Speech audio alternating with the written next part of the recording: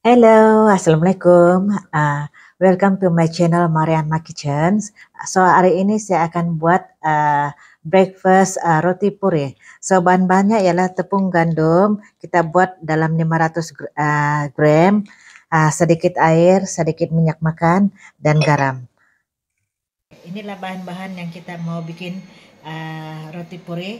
uh, sedikit minyak, sedikit garam dan kita letakkan air sedikit demi sedikit untuk membacu uh, mengadun tepung ini sehingga sabati.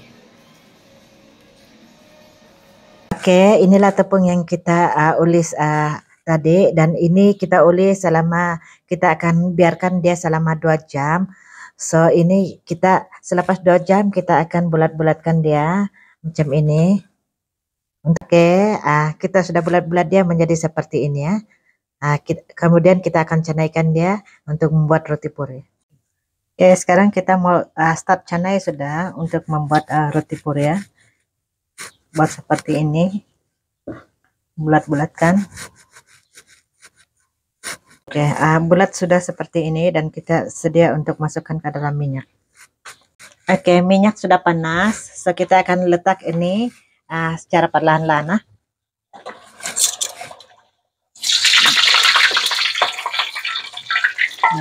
Okay, dia akan uh, kembung seperti ini dan kita terbalikkan dia.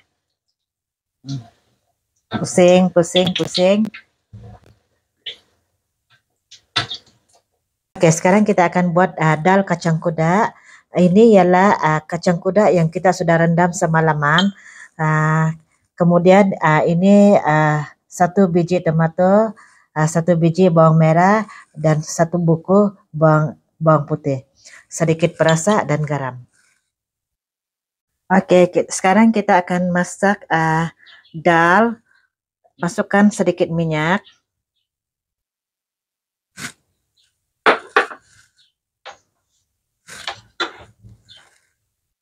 Masukkan bawang.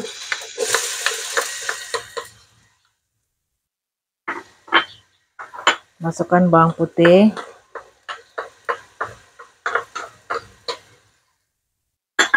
dan gaul sehingga bawang putih dan bawang merah ini lembut dan naik wangi Oke, uh, sekarang sudah kelihatan bawang putih, bawang merah sedikit keperangan. So, kita masukkan tomato.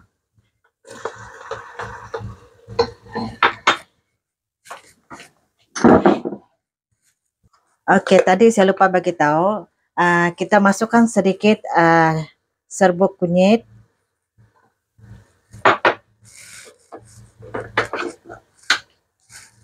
Dan serbuk cili cili merah sedikit ah.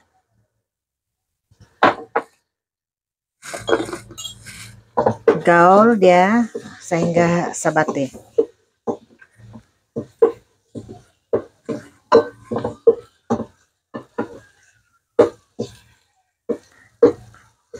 Dan kita lihat ini dia punya apa ini tomato sehingga dia betul-betul masak. Masukkan sedikit uh, serbuk perasa dan sedikit garam.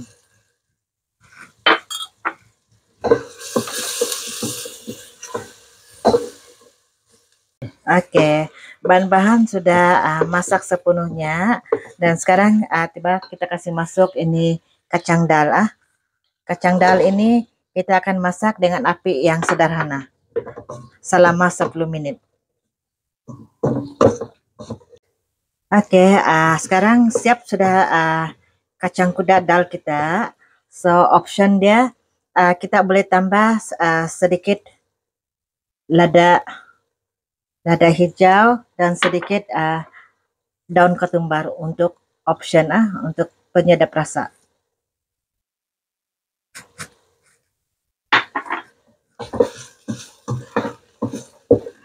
Gaul seketika dan sedia untuk dihidang.